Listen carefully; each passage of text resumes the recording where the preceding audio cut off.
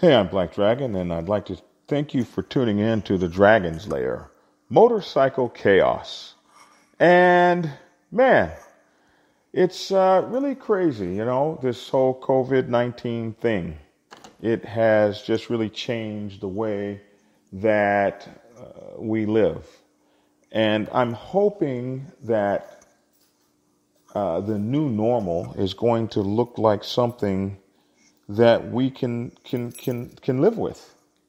I'm hoping that the new normal is going to be something that is not so strange because during this time, during during this pandemic, uh, I've actually been blessed enough to be able to open up uh, a new studio. And I've been in hiding basically since February when I got back from the cold ass run. I've been hiding since February. So I've had to come out of my home uh, and come over here and meet with people, contractors and things that were doing things to get my studio together. And it's a risk, it's a chance that you have to take. And the chance and the risk is so scary dealing with people, and you think you have your mask on, you're safe. And I just saw a CNN thing earlier today where they showed just how unsafe the masks were. But you absolutely have to know that they have to wear a mask and you have to wear a mask in order to have any chance at all with how contagious this disease is. And it's just frightening. It's frightening and it's scary. I'm here in my studio now, locking up and getting ready to leave. And I, I wanted to talk to you guys about something interesting today because there, there was a situation that really, really got on me. It really kind of got to me. And that was a lady who was killed, um, and a man that was killed. The lady that was killed was a postal worker, and she was killed by some idiot because she didn't deliver his stimulus check. And she didn't deliver his stimulus check because he had a badass ch- chihuahua, and the chihuahua uh, intimidated the postal worker. It either intimidated her or pissed her off. And in any event, she used her postal powers to stop delivering this guy's mail and she stopped delivering his mail during a damn global pandemic where people are waiting around for their stimulus checks. Well, this is perfectly within her rights, but it may be something that got her killed. Because this guy, mad that she would not uh, deliver up his stimulus check, approached her on a side, uh, on a porch, somebody else's porch, uh, where she was delivering mail, and initiated a confrontation with her. And they get into a yelling match between the two of them. Or, or maybe she didn't yell, but he certainly yelled. And he was pissed off because he didn't have his damn stimulus check. And he kept asking her, Where's my stimulus check? Where's my stimulus check? And she decided to say, I'm not delivering it because you got a badass dog. And we told you about this dog, and we sent you letters about this dog and this badass dog continues to be a badass dog, and I'm not delivering your mail. And so at some point during the confrontation, uh, it gets heated. She might feel threatened. Maybe she felt threatened. So she maced him or pepper sprayed him, whatever it was that they have. She used that against him. And his cowardly response to a woman with a can of mace was to blow her away, was to blow her to kingdom come. Can, can you imagine? Can you imagine being killed over such silliness? But that's just the state of people these days. The state of people, the, the, the state of people this, these days is on that bullshit. It's on that simple, silly bullshit. And that's what you have to prepare yourself for when you're confronting these idiots. I keep saying these people were not stable before COVID 19. So please don't expect that they'll be stable now that COVID 19 is occurring. They already had one foot in the cuckoo's nest. And to die over something small, frivolous.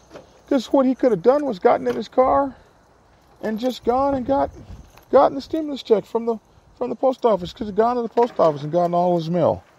But of course, we're assuming that he had a car to do that with. We're assuming that he had gas. See, some of these people don't even have gas.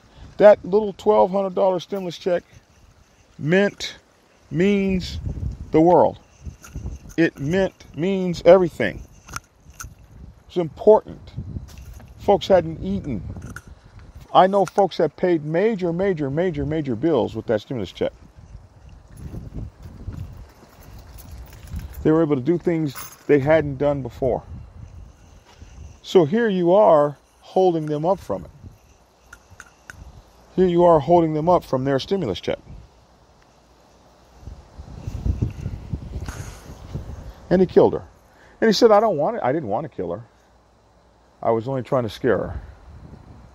Because he's running his mouth to law enforcement, which he should have shut up. He should have just shut up. He should have been quiet. He said, "Well, I was upset because of my, uh, I was upset because of my, my, uh, uh, what is it? My, my, my, my asthma. I, I felt like my life might be in jeopardy because she sprayed me and I have asthma, but I didn't mean to kill her. Well, that's that's the wrong answer. You're going to prison forever. You didn't think that through either, huh? Because the right answer for that is I got asthma, I feared for my life. I was trying to protect myself. That was that's the right answer for that. But the truth is, he wasn't afraid for his life. He wasn't trying to protect himself. He was pissed off at that lady for shooting him with the pepper spray. Crazy, huh? absolutely crazy. You guys might hear me in the background getting into my car. Um, so, huh?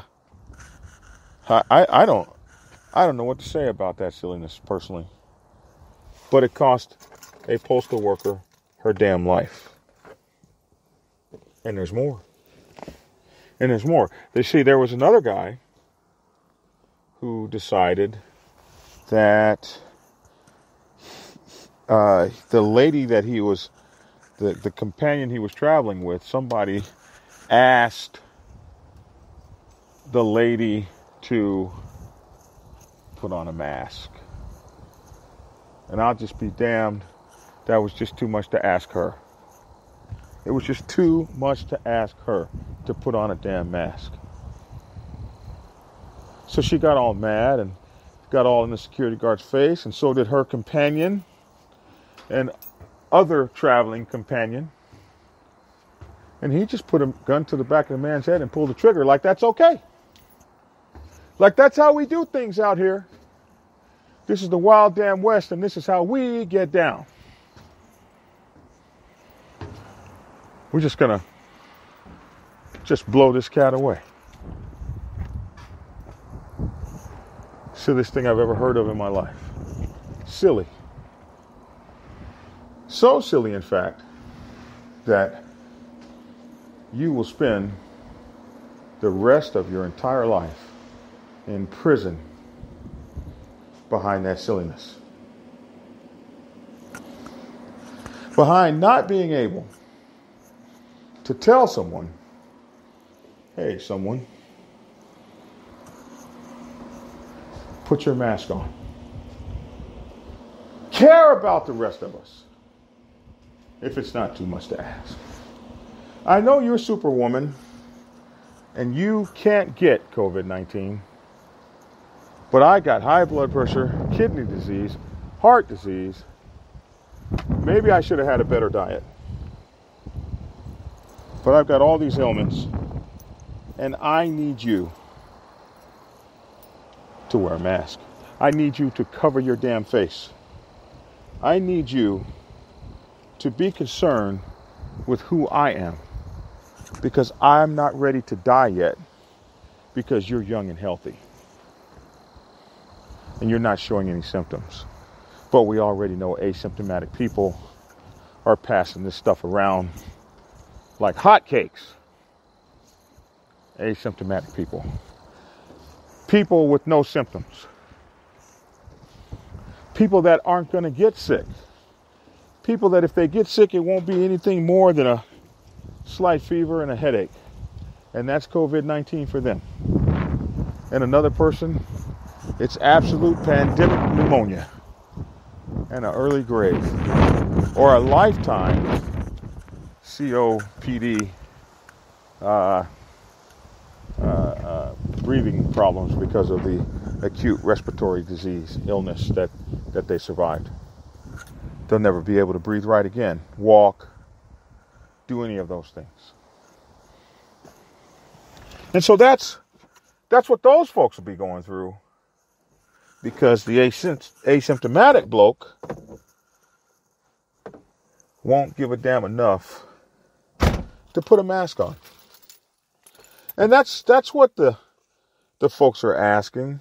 That's what the the governors are asking. That's what all the people are asking. Hey, can you put your mask on?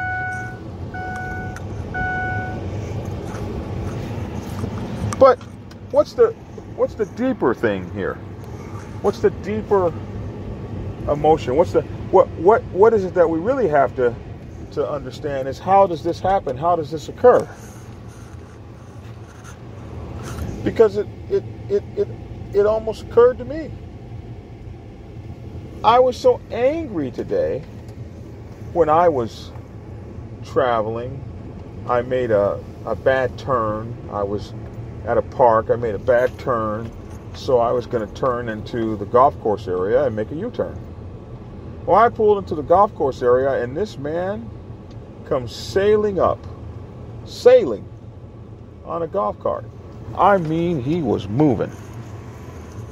And he comes rolling up to my car and screams, Can I help you? And I was instantly on. I was on the instant he opened his fucking mouth. Can I help you? I said, No, I didn't ask for your help. No, you can't help me. I didn't ask you for any help. What what makes you think I need some help? Well, you're here in an area where you don't belong. You're driving and I that and at, at that point I was already at a hundred. Why? It, there, there was no need to be at a hundred at that point. Why was I so angry? Why was I so mad? I was mad over nothing. I was so effing pissed off at this guy who was telling me you're driving in the wrong place. But it was his approach. But normally that doesn't get me. You guys know I'm a pretty decent guy. That kind of thing doesn't normally get me. But this night, this approach was absolutely effing crazy. I hope there's not too much wind here. This this approach this night was crazy. This approach was this afternoon rather. This approach was absolutely mind-numbing. Whereas normally it wouldn't have pissed me off at all. This guy had me at 100. And I was like, rolled my window down, and I wanted to know quick, fast, and in a hurry what the fuck your problem is. Why are you coming at me so aggressive? I yelled back. And he could see all hell. I got the six foot four black guy pissed off. And yes, the hell you did. So immediately, his conversation, it got right. I said, what the hell are you coming at me so so angrily for? What are you what are you coming at me like that for? Why are you being so aggressive? Well, I, I, I'm not I'm not being aggressive. Well, yes, the hell you are. And now that I'm at a 100, you're not going to easily get me back down. Now that I'm at 100, let's take it a few more steps further. So that's what happens when you take somebody to 100 that wasn't there. Now you're ready to back down and go back to 10 or 20, and they want to stay at 100. So he says to me, he says, uh, "Well, no, I, I, I, I just, uh, you were in a, you were uh, pulled into a bad area. That's all." I said, "That's right. I was making a U-turn. I can continue to make my U-turn, or we can do something about it. We can have a problem." Well, no, I, I don't want to have a problem. And with that, I left. But I want you to know I was every bit willing to get at it with this guy, to go all the way with this guy for absolutely not a damn reason in the world. So I have to ask myself why. Well, I'm stressed the hell out. I I'm stressed the hell out. I know some of you guys have to be. I'm stressed the hell out my money's not as strong as it as it has been previously. Don't have as hardly anybody in the country is taking in as much as they once were, unless unless you've got a really great job.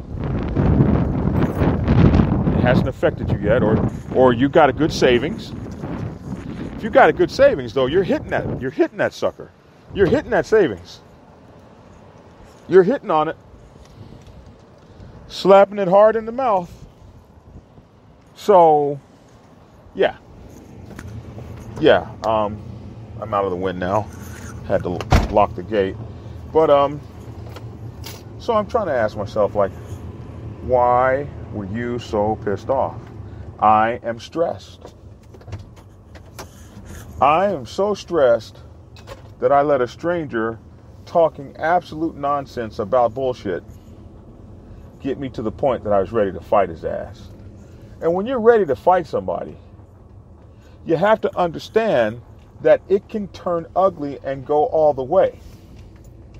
You could trip, fall into him, he trips, falls over, and hits his head on the concrete and die. I saw that happen. It happened when I was a young man, uh, taking karate out there. Uh, one of uh, the classmates of ours was a guy by the name of Sagon Penn, uh, whom you guys over on this side of the world have never heard of. But Sagon Penn actually got into a fight with some San Diego cops, shot uh, three people, and killed one person. Uh, and eventually, he was found having committed suicide some number of years later. We were all in the same karate school together. There was another guy who had gotten his green belt or something like that, and we were out in the streets or whatever the case would be. Somebody came up on the guy, and it was just a little bitty, little bitty fight. It wasn't even anything. it wasn't big. It wasn't knocked down. There were no pipes. There was no knives, no guns, no nothing. He kicked the guy. The poor guy fell over, hit his head on a concrete curb, and was dead to the world. And this other guy has murder charges on him. That when you fight somebody, anything could happen. You might whoop this guy so good he goes to his car and gets his gun and comes back and blows your brains out. Or he goes to his car, gets his gun, but you can't let him come back because if you do, he's going to kill you. So you kill him. And looky, looky, looky. Back to square one, you're in a whole bunch of trouble. So I got to tell you, if you're my if you're my frontline responders, if you're my biker responders,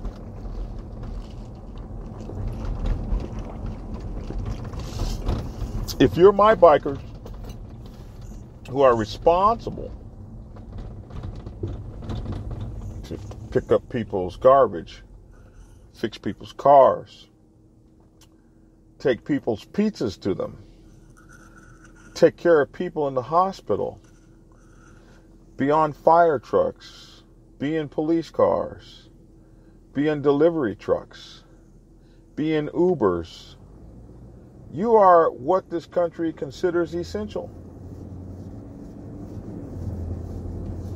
If you're my mail carriers or my security guards, and the management says, don't let them in here without a mask, you need to temper that shit. Temper that shit with a good dose of humility and a large measure of patience and a healthy scoop of respect. Because people are on edge out here. Hell, I'm on edge and I got a pretty decent life. So imagine someone who doesn't have anything coming in at all they're on edge for real. They might not eat tomorrow. There's no gas to drive around to find something, and there's no opportunities out there to hustle. You're not even going to meet anybody on the street to play the three card Marley game on them. There's nothing. There's no hustle. Crime has gone down. Nobody's out there to, to do crime to. There's nobody out there to, to, to make a deal with Nothing. All that stuff is, and that's why these governors are trying to open up these cities because they're sitting on powder kegs. How, how, do you want the folks to die? You want the folks to die from COVID 19 or you want them to die from a, uh, a riot in the streets? You tell us. How do you want them to die? Because they're going to die, Governor Christie said. They're going to die anyway. But the further you let this thing go on, the further people are going to have to dig their way out of a hole, which could take years and years and years or decades. And just face it, if your credit is screwed and you have a car that you were able to get, but your credit is now screwed because you couldn't make those car payments. If they come and they take that car, after COVID 19 is over, your credit is screwed. You're not going to get another car.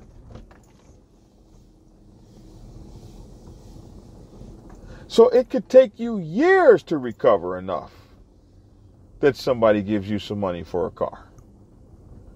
It could take years and years and years. It could take damn near a effing decade. So people are pretty terrified right about now. They're terrified because they don't know what to do. They don't know what to do, and they don't need your measure of BS in their life, and some of these people will kill you for it. So, wise up. Wise up when you approach these people to tell them to put their masks on, or what are you doing in the golf area, or uh, I'm not delivering your mail and your stimulus check is in it. Don't let these people kill you because they ain't stable. Where you could tell the average person, man, I ain't giving you your check. Go kiss my ass. Call my boss and they go through all the steps and the phone uh, and they write the letters and all that. Man, for some of these people, that is so abstract because I'm trying to figure out how I'm going to eat tomorrow and I'm not thinking past that. And here you come with that bullshit, it might get you killed. So, think about it. Be professional. Don't get into it with folks. Don't raise your don't raise your voice. Uh, if they get overly aggressive, hey man, you know what? I'm sorry. I'm just trying to do my job. Tell you what, forget I said anything. Swallow that pride. The pride goeth before the fall. Swallow it. Or be prepared to act first. That can put you in prison too. They used to say, I'd rather be judged by 12 than carried by 9. So just keep yourself ready and ready at all times. Hey, I'm Black Dragon, and that's my two cents. I'd love to read your two cents in the comment section below. I'd love it if you would please share this recording. Please share this podcast, like this podcast, and subscribe to the station. The Dragon's Lair Motorcycle Chaos. And we also have bikerliberty.com for all your biker news. And Black Dragon Biker TV on YouTube. Black Dragon Biker TV Hero on YouTube. Black Dragon Biker TV on Instagram TV and Instagram. A lot of ways to get in touch with us and follow us. Our Facebook is also Black Dragon Biker TV. I got gear at blackdragonsgear.com. I wish you would go over there and buy some of our gear and support our station and our efforts to bring great coverage and information to you. So let me tell you something, bikers. This is not a time to be afraid, but it's damn sure a time to be cautious. And I hope that you're all cautious with your lives. I'm Black Dragon. Thanks for tuning in. And get skinny.